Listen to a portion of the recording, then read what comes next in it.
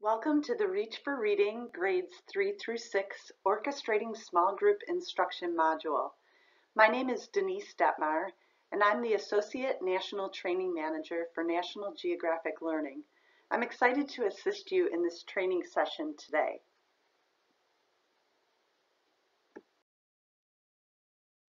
While the big question can whet the student's appetite for reading, good literature truly seals the deal. Reach for Reading includes Caldecott and Newbery winners, as well as National Geographic exclusive articles and interviews with scientists and explorers. The rich multicultural selections and the assortment of genres entice the students. And when they have something in front of them that they want to read, they're motivated to learn how to read well. Reach for Reading's leveled libraries will help ensure that students have access to high interest fiction and nonfiction texts at their appropriate reading levels. Let's talk about our goals for this session. Today we really want to understand the research behind small group reading, learn what to consider when we're creating our small groups, Identify the small group lesson plans that are found in Reach for Reading for your grade level. Investigate the student learning stations in Reach for Reading and view the online resources.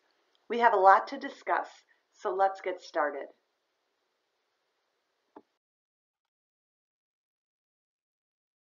I'd like to share a quote from Fountas and Pinnell that gives us a rationale for why to use small groups in the classroom. Teachers cannot expect students to expand their reading abilities on their own, even if they're given time to read. Explicit instruction is essential for most students and will make reading more powerful for all students.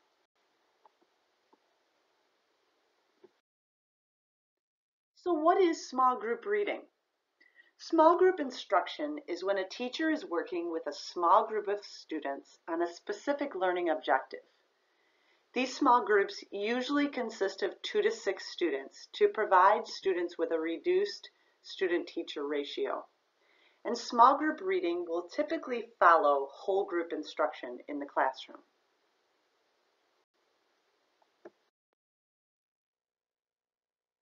So why use small group reading in the classroom? When we use small group reading, we can reach students with varying interests, strengths, and personalities. Research has shown that using small group reading in the classroom is more effective than only using whole group reading or whole group instruction. Small group instruction allows for flexibility and individual growth.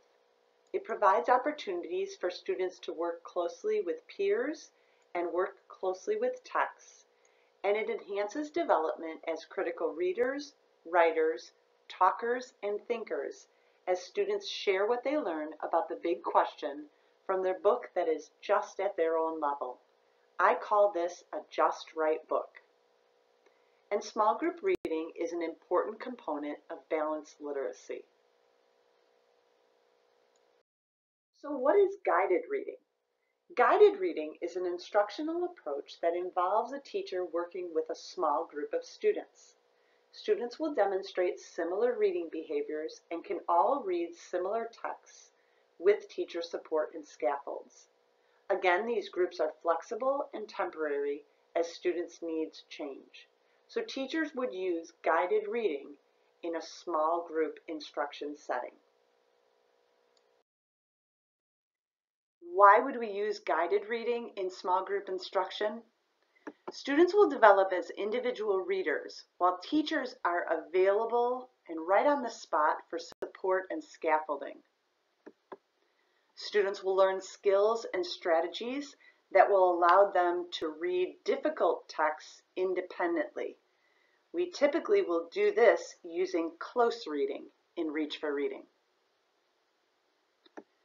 We use guided reading so students experience success in reading for meaning, and also students receive more individualized teaching time. In guided reading, teachers can use good literature to strengthen reading comprehension strategies. So let's look at the Reach for Reading instruction. Implementation of Reach for Reading follows a best practice approach to instruction. Although there are many grouping formats that teachers may use for reading instruction in their classroom, we focus on two primary types, heterogeneous groups and homogeneous groups. Whole group instruction is typically working with heterogeneous group of students, and our small group instruction is working with homogeneous groups of students. In whole group instruction, teachers will use direct instruction with all the students in the classroom at varying levels, but they're working in the same text, which is typically our anthology. In small group instruction, Teachers will use direct instruction and scaffolding of targeted skills with a small group of students who have similar needs. This is where you'll be using the leveled library books. These two types of instruction are meant to be teacher-led. While the teacher is working with a small group, there's other groups of students or partners who are working independently from that teacher and that small group. Too often in small group reading sessions and in guided reading sessions, the comprehension focus points are random and they're guided by the content of the text rather than teachers choosing the text based on the comprehension focus. Guided reading can be accomplished with Reach for Reading small group lessons because we focus on the same comprehension skill or strategy in both groups. Let me give you an example. In whole group instruction, we teach and model that skill or strategy, and then we meet with small groups of students that have the same similar needs, and we continue working on that same skill or strategy and allow students to apply what they have learned in their leveled books.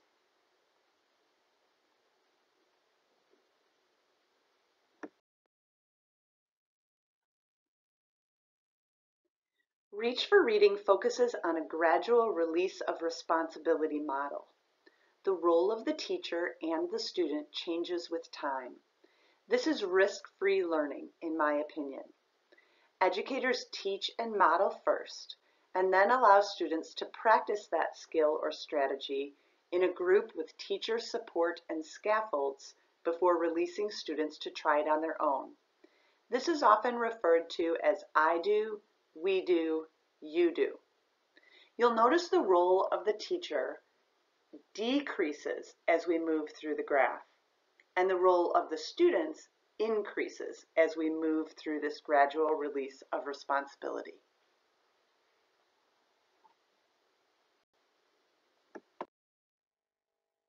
Best practices based on research are found online in the professional development link. Author monographs are also found online and include Orchestrating Instruction by Lada Kratky and Jennifer Turner, a must-read before beginning small groups in your classroom.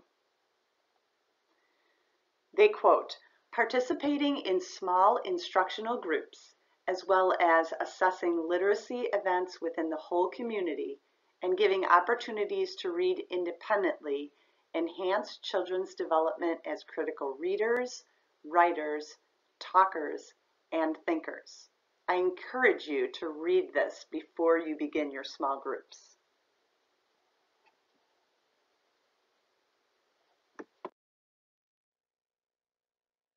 Reach for Reading incorporates best practices into the program using literacy routines. Specific routines for grades 3 through 6 are found in the professional development link on the myngconnect.com website and also in the Unit 1 and 2 Teachers Editions. I have pointed out a few routines that connect to small group reading in grades 3 through 6 on the slide. Today we are going to use grade 5 as our example. However, the instructional path for all of the grade levels will be the same, and only the content will be obviously different for each grade level. Some of the routines that teachers will use for small group reading include a small group reading routine, a close reading routine, a markup text routine, learning station routines, and an independent reading routine. There are other routines that will be used as well. Also found in the professional development link online are brief recorded video sessions. I suggest viewing the sessions on close reading with Reach for Reading, Reach for Reading and small group instruction, and using Reach for Reading in a balanced literacy classroom. These are excellent video sessions written by the experts and will help as you begin to develop small group reading in your classroom.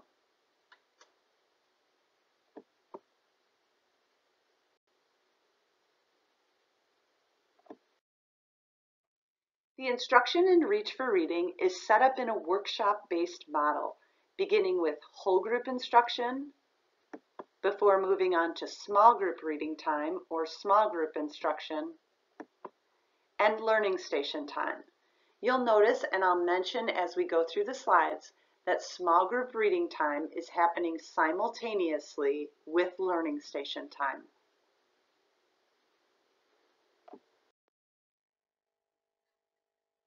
There are many ways to group your students for small group or leveled reading instruction. Typically for our purposes, we would group our students based on ability, but there are other ways that you can group students as well.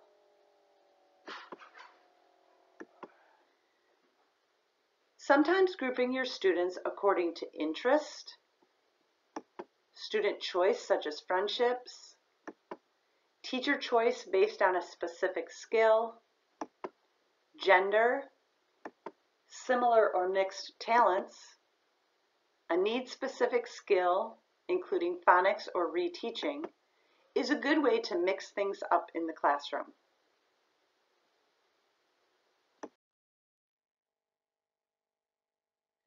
Let's talk about ways to create small groups in the classroom.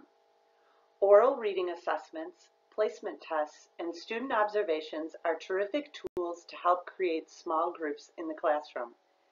Keep in mind these groups will be flexible and may change throughout the year as students progress and also need reteaching.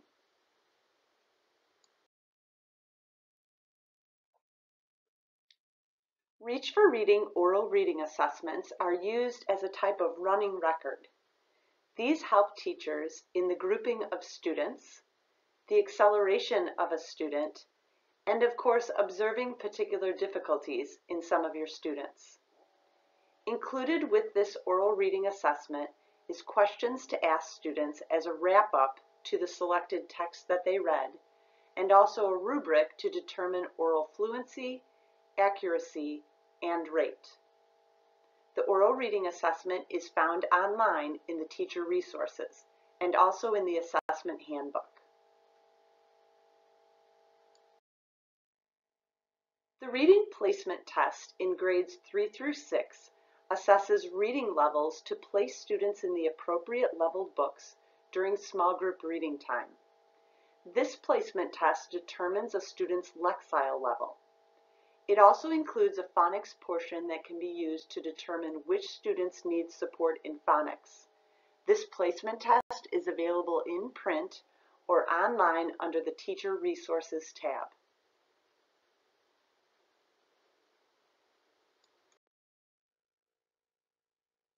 As we look at the table of contents page, you will notice that each unit follows the same instructional path. Teachers will always begin with a unit launch and introduction of the theme before moving on to the instruction which is broken down into four weeks. And each unit ends with a unit wrap-up. Down the left-hand side of this page, you'll see the genre of reading and the lexile levels. You'll also see the close readings highlighted in blue, and at the bottom the small group leveled libraries with Lexile levels are listed here. These are the specific texts that we'll be talking about in small group reading. Keep in mind each title is connected to the unit Science or Social Studies theme and also the unit's big question.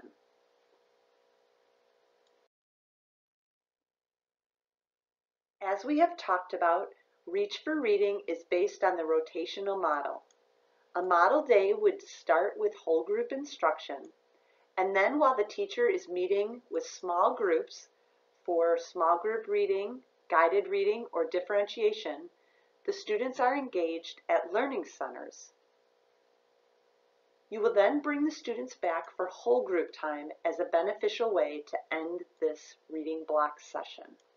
Remember, small group reading and learning stations are happening simultaneously.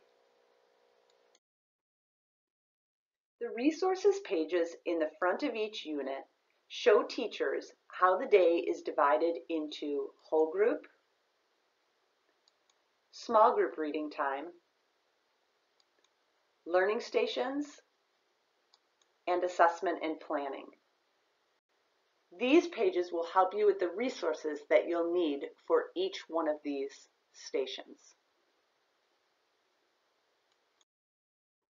Now let's look at the Skills at a Glance page. Reach for Reading shows all the skills broken down by week. Tested skills are noted by a red or purple checked icon. These are the most important skills to emphasize. The Skills at a Glance page also shows the text used for small group reading time and the activities for learning station time.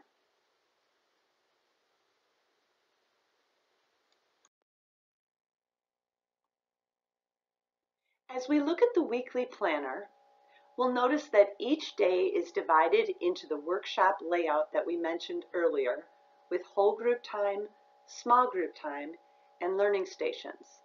Common Core standards are also listed for each lesson. Tested skills are identified, and suggested times are listed for each lesson. But remember that the online lesson planner can be used to customize instructional time.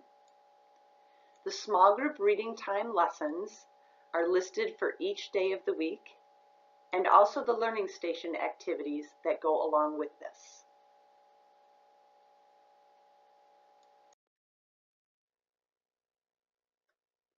Now let's take a look at the small group reading for the unit. You may wish to go to the small group reading tab in your Unit 1 and 2 Teachers Edition to follow along. You will notice that there are four leveled books for each week of instruction and one Explorer book. The four leveled books are leveled this way. One text is two years below grade level, another one year below grade level, another text is on grade level, and another text is one year above grade level. These texts are designated for days 2 through 5 of the week. Also included is a leveled Explorer book for each week of instruction. This is displayed with the NG golden rectangle and designated for day one of the week. The Pioneer Edition, displayed with a green triangle on the cover of the Explorer book, is the below level text, and the Pathfinder Edition, noted with a red triangle on the cover of the book, is an on level text. All of the photographs in both editions are the same. You may wish to grab a Pioneer and a Pathfinder edition and compare by having them side to side. You will notice that just the text is easier to read in the Pioneer edition, and students absolutely love these Explorer books.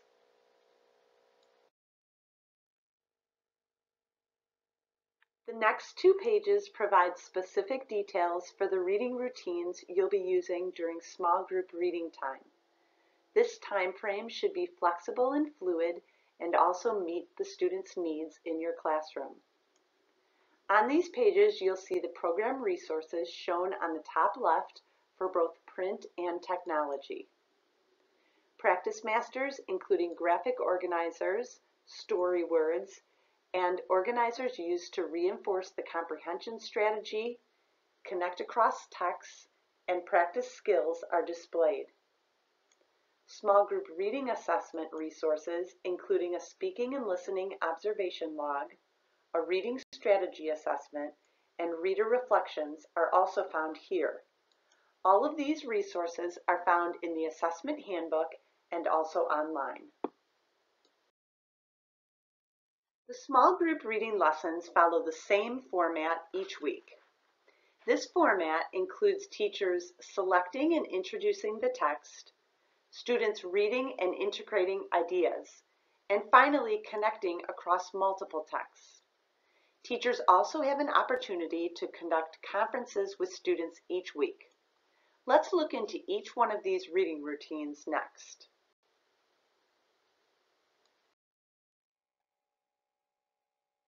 Let's talk about selecting the text for your students. In the teaching resources for each week, there is a lesson plan for each text. A summary of each of these books is included. Use these summaries of the books in the teaching resources to view an overview of the content.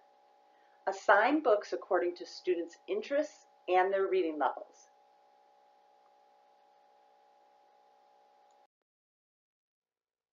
Let's talk about selecting the text.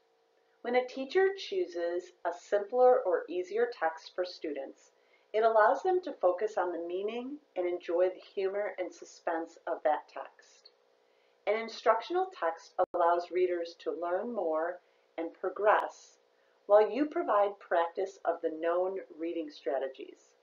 An instructional text also allows for students to solve problems. A difficult text may be discouraging to that reader, but may also encourage students with a challenge. When my daughter Carly was in fourth grade, Reach for Reading, her teacher would choose an instructional text for most of the time, an easier text when she wanted Carly to lead the discussion in the small group, and a more difficult text once in a while when she wanted Carly to really focus on listening in small group instruction. This was a great way to give her an opportunity to read a variety of texts and still be learning along the way. After choosing the book for your students to read, teachers will activate prior knowledge and build background for each book using these teaching resources. Remind students that all of the books connect to the big question. Introduce vocabulary by using Vocabulary Routine 1 to teach the story words for each book. To find the vocabulary routines, access them online under the Professional Development link or in your Unit 1 and 2 Teacher's Editions in the very beginning of the text.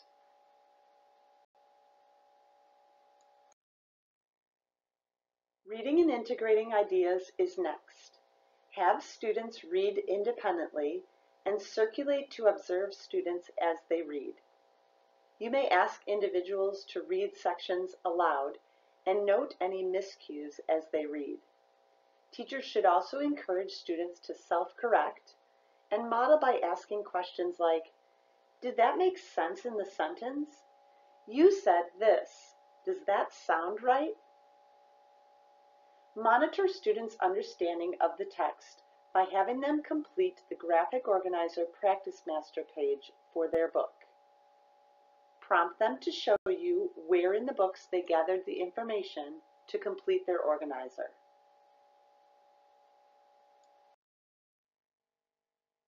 Next, form homogeneous discussion groups by grouping students who have read the same book together. Distribute the discussion guide Practice Master for that book to each group member. Monitor group discussions by having students discuss the book they read using the questions on the discussion guide. You may also use the building comprehension questions in the teaching resources to develop higher order thinking skills. Discussion guide answer keys are found on the small group lesson pages at the very end.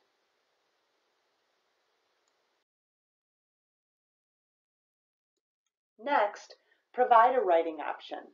Have each student complete one of the writing options from the teaching resources and encourage students to share their writing with the group.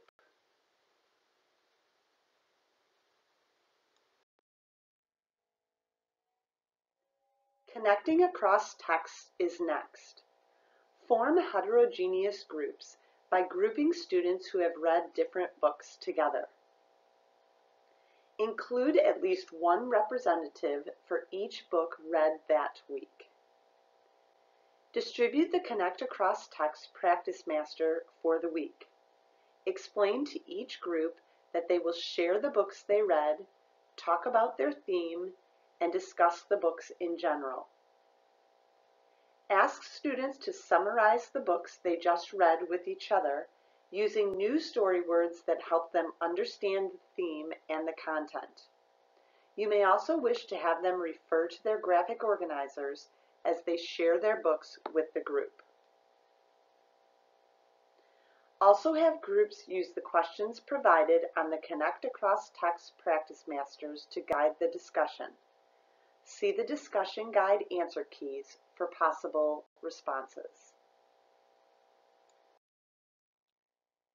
Teachers may also use the Speaking and Listening Observation Log Assessment Master to assess students' participation in these discussions with one another.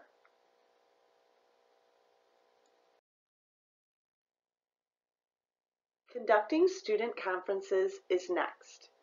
You may wish to conduct conferences once a week, once a unit, or once every quarter. Conducting conferences works like this. Assess reading by having each student select and read aloud from a section of the book that connects to the big question. Listen for fluency and ask questions like, which strategies did you use to help you understand this section? Use the reading strategy rubrics on the Assessment Masters to assess how well the student uses the reading strategies. Then have the student complete the Reader Reflection Assessment Master to share how the student felt about that particular text. Assessing writing is next. Have the student share a completed writing option. Ask the student to tell you about what he or she wrote. Monitor responses to gauge how well the writing relates to the book. You may wish to ask, how did your writing help you understand this book? Then plan intervention or acceleration. Ask the student to summarize what he or she has learned and plan for further instruction. If the student needs additional support with reading strategies, use the assessment and reteaching resources that are provided. And if the student successfully applies the focus skills, use the recommended books on the pages following to guide the students in choosing books for independent reading. Let's look at that now. Here are the recommended books to guide students to read independently. Once students have read the small group readers, here is a list of additional recommended books, both fiction and nonfiction, that connect directly to the content of the unit. This list also includes award-winning books as well as Common Core exemplars. There is also a suggested author study featuring an author of one of the selections the students have read in the anthology. This is a great enrichment option for advanced students and also a great option for students that need to read more. Day one small group reading starts with our National Geographic Explorer books. These books contain the same content written at two levels. The Pioneer edition is written below grade level, where the Pathfinder edition is written on grade level.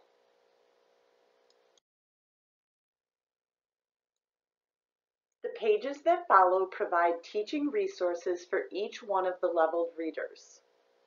For each reader, you have an overview of the book, including title, author, page count, genre, and content connection. You will also have a Lexile level and at times the guided reading level included. You will also see that there are program resources for each text, included a suggested pacing for the week. A summary of the book is included activating prior knowledge ideas, and building background questions and activities. You'll also have the story words for each text, and on the page following in your teacher's edition, building comprehension questions and writing options. You'll also notice where the yellow star is that you have objectives. The objectives for each of the four texts will be the same as we're covering the same skills and strategies that we talked about in whole group instruction in our small group instruction.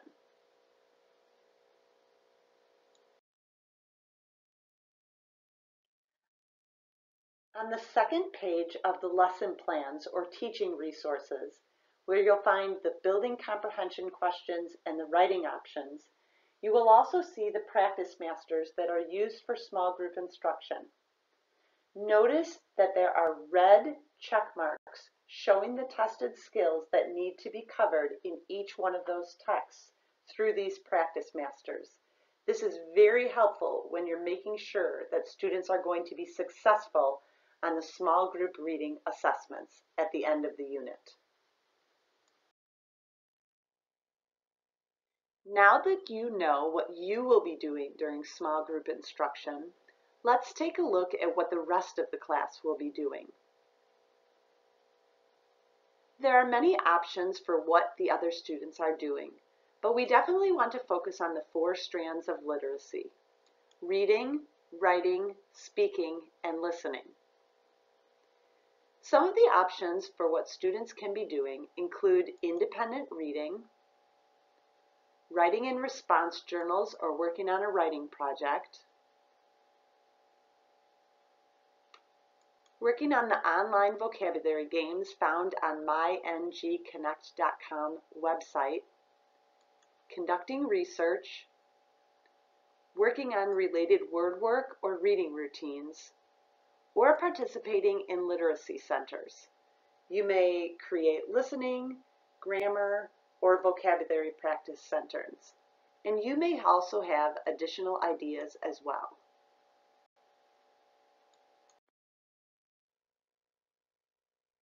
Learning stations are provided, including multiple options for each literacy strand.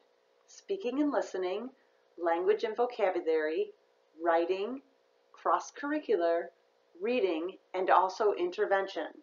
You'll find these learning station activities in your Teamwork Activities cross-curricular book or your Language and Literacy Teamwork Activity book. Learning stations are great for rotations while the teacher is meeting with small groups for differentiation, guided reading, reteaching, or literature circles. Daily language arts lessons are provided for spelling and word work. These may also be used for individual or small group learning station activities. The words provided are related to the content of the selections students will be exposed to during the week.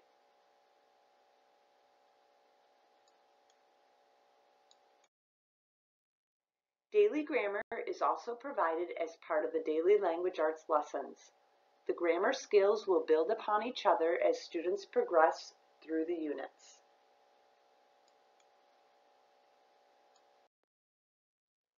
Let's look at some options for a rotational model with varying numbers of groups. Here you see three groups. One group of students working on audio recordings with a writing task, another group of students independently reading, and the third group is working with the teacher.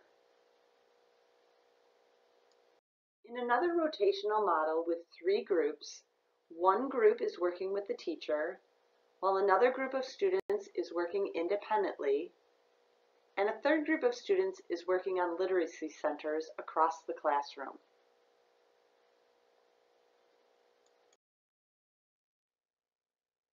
Here is another example of a rotational model with small groups and ideas for each of four rotations. In the reading rotation, students are independently reading, working on comprehension coach or vocabulary or phonics games, or working on reading routines.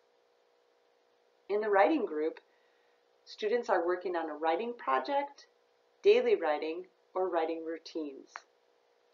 In the speaking and listening group, students are listening to Comprehension Coach or working on the online resources on myngconnect.com. And in the grammar and spelling group, students are engaged in word work, practice masters, daily spelling, or daily grammar. You'll notice that there's not a teacher-led group in this rotation. This is great on a day when a teacher just wants to facilitate each group in the classroom and watch what each student and small group of students is doing. It's a great way to observe students.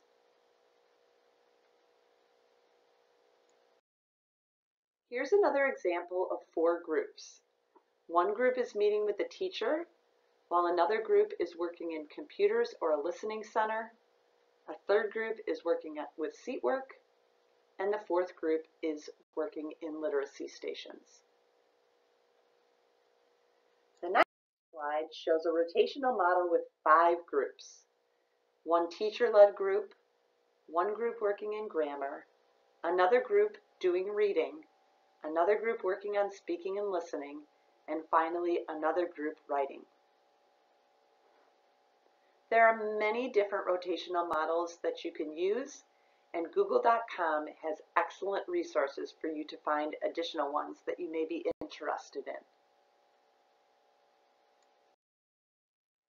The resources we discussed today can be found on www.myngconnect.com, the companion website for Reach for Reading.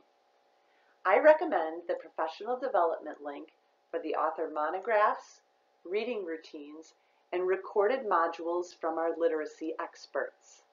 The resources, including the Practice Masters, Graphic Organizers, Assessment Masters, and Metacognitive measures are found in the resource directory in the Reach into Teaching box.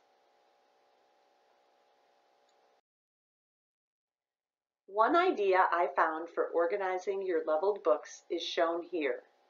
Search google.com and narrow the search to images for more ideas. Whether you have years of experience or have just started your education journey, this is the beginning of an exciting start to small groups and increased student success in the classroom. So think about it. What are you most excited about when it comes to orchestrating small groups in your Reach for Reading classroom?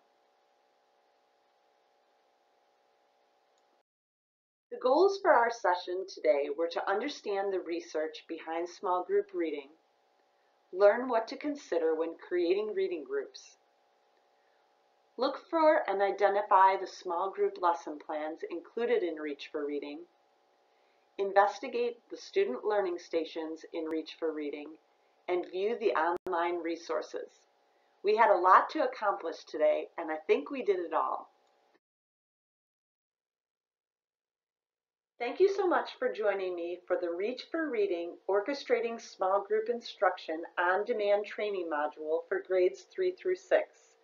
I hope this module has been beneficial and helpful, and I also hope that you will access other on-demand training modules to benefit your Reach for Reading classroom.